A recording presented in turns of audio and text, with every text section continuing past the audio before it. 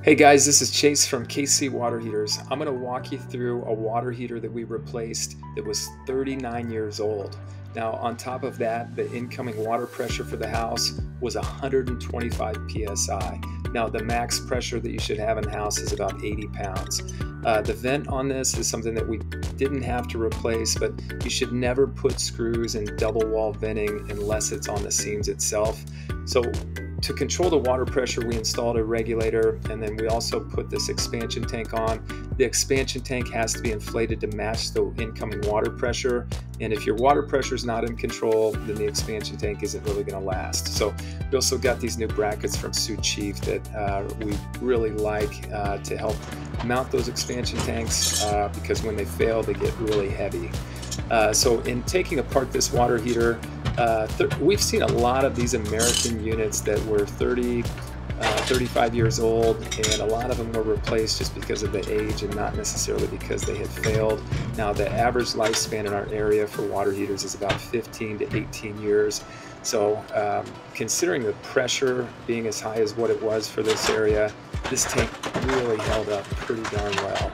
So I made some changes to the gas line. I turned the gas off out of the meter and reposition the shutoff to the gas supply for the water heater.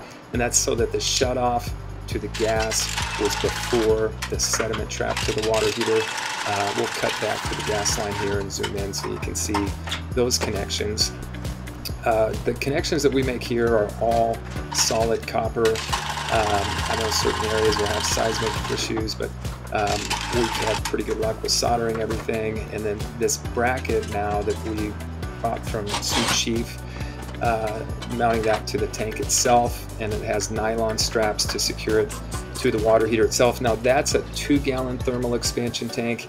If you have really extreme uh, water pressure or if you have uh, a tank that you're heating to a really high temperature, or if you have more than one water heater, you want the larger four gallon thermal expansion tank. Um, we also use the Viega brass female adapter, both on top of the water heater and on the thermal expansion tank. Uh, the brass to steel connection would create slightly less uh, electrolysis than uh, using a copper fitting. Uh, the connections we're using here are all ProPress.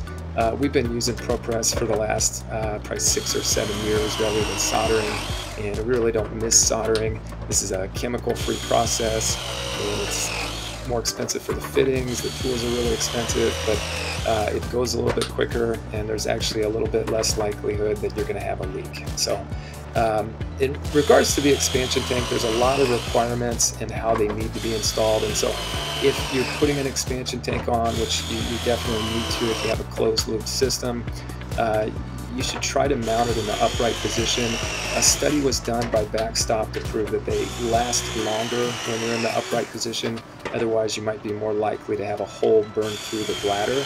Uh, other requirements are if you can get it between the shutoff for the water heater and the inlet for the water heater, that would be ideal.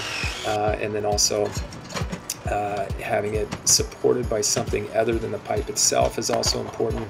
Uh, so now I'm switching over to the gas line here. So when we're when we're doing the gas line, we're pretty much always going back with new uh, a new union and new nipples.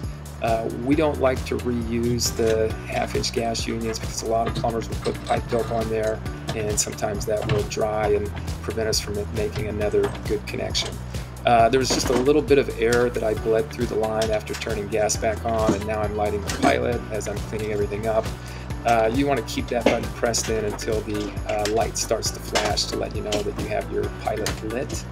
Um, from that point, uh, our, our, next step here is to label the water heater, put the install date, uh, get three screws in the draft diverter connecting to the tank itself, and that is pretty much uh, a wrap. We've got the pressure back down to 68 psi, and we're all set.